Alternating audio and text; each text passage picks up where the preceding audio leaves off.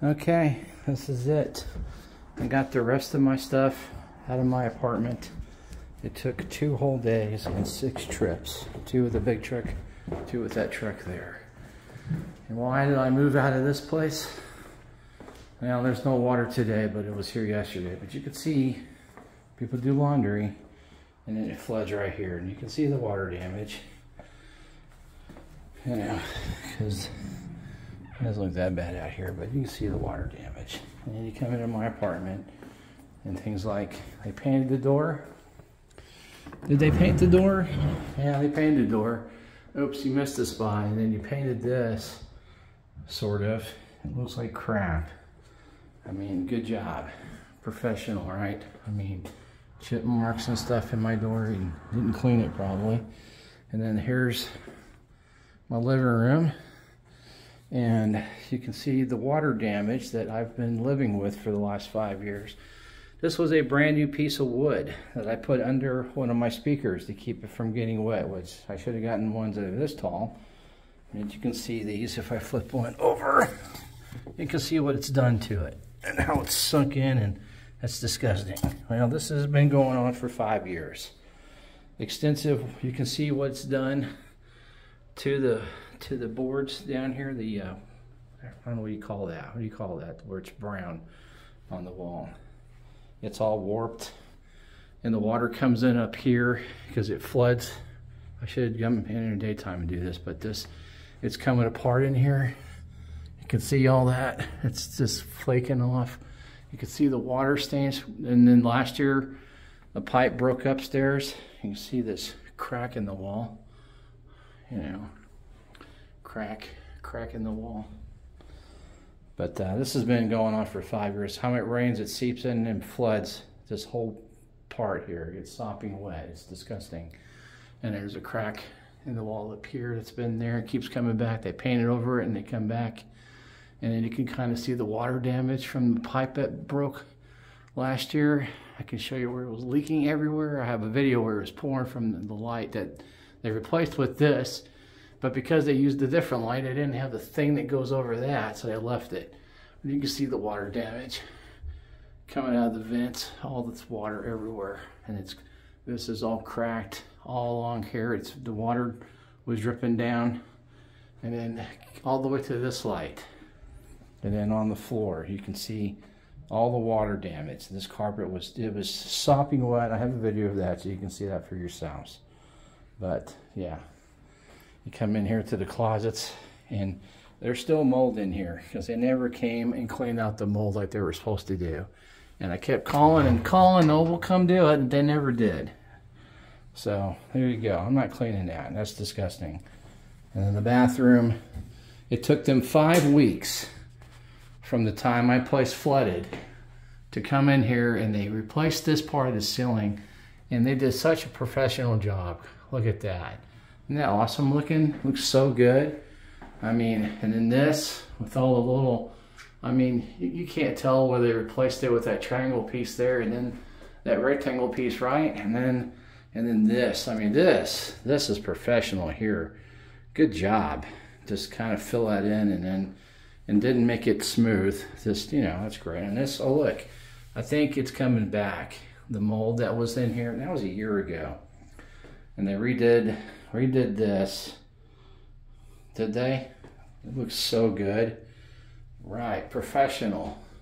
I mean, you can see where you can't you can't tell where they put that big panel in, right? You can't see that. No, no, and it's sticking all down because it's not even. Yep, that's great. We'll go in the closet here. I to turn the light back on, even though this thing enhances. It's pretty good. But you know, come in here and you can see again the water damage all along the baseboard. Baseboard, that's what that's called. Yeah, our stuff got ruined in here. The best part though is in here, in my bedroom. And I wish I hadn't taken all my lights with me, but let me turn the hallway light on. I guess the hallway does. Let me shut this, shut this door. There's enough light. Okay, look what it did. This is from the flooding that happened every time it rained. Every time it rains, it pulls up up here and it comes up through the floor and across my windowsill and it destroyed my nightstand. I'm just to leave that there. That way they know, hey, we need to fix this. You can see the water. I tried to paint that. It's, it's sticking. Can you tell how it's sticking out? The top of it is further out than the bottom of the baseboard. But it came all the way out to here. And then the flooding got all this. And you can see the mold in the, in the wall or on the wall. And I, of course, I didn't move my stuff. Probably should have, but I didn't want to touch it because it was gross. But anyway, so, but that's my apartment. I, I, got everything out. That piece of wood was for my power cord to sit on top. And I you know, because it's hanging on the wall. but then the cords are too high, you trip over them. But anyway, I'm out of here. I got all my stuff. There's nothing left. Let's do a quick tour. You can see all the shelves are empty. I didn't leave anything behind. I didn't leave any trash behind. You know, this is clean already because I'm not that filthy. See, does that look dirty to you? No, you see shine, I see shine. You know, that is probably needs to be clean, but I gonna clean it again. You got all my medicine cabinet. I got everything out of the cupboards, out of the drawers. Both drawers are empty. See, there's nothing in there. There's nothing left. Turn off the light. Got everything out of there. There's nothing in there. I'll go ahead and leave these open that way. I can tell that I got out of here. Got everything out of the kitchen. There's nothing, nothing left in the kitchen anymore. I got everything out. I almost forgot this drawer. Then I came back and got it. There's nothing in there. Nothing down there. Don't leave anything in the stove. Nope, nothing in the stove. Nothing in the refrigerator. That was already like that. Because somebody left their bag too close, I guess. I don't know. Nothing in the refrigerator. And there you go. I completely moved out of this apartment into a house and I cannot believe it. And and this thing, try to try to set the temperature on this. Okay, you can set the temperature. Wait, wait. I don't want I want it on cool. No. Yeah, you want it, go, there we go, go that way. I want it off. So you're gonna stay on off? No, no, it's not doing anything. It's fucking stupid. Get out of there. Okay. Yeah, that's dumb. And then it's got batteries. This thing comes off, apparently. Because they didn't tell me, oh, when you got to replace the stupid batteries. Well, that's dumb. It's wired in here. Why didn't you just put it on with batteries? So stupid. You got to go in here and to change it to uh, your mode. You got to pick mode and you got to put it in in cool. And then you got to, I didn't set the temperature. I guess that works. But mine, mine you just, it's either hot or cold. You go hot or cold.